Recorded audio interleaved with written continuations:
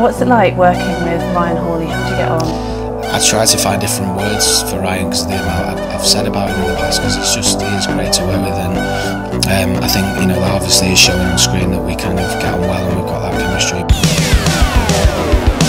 Hello, I'm Danny. I'm Ryan. And here you are. And look who it is.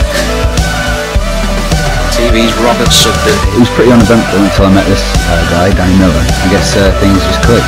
Ryan's a good kisser. I quite like it. Danny, Danny's not bad himself.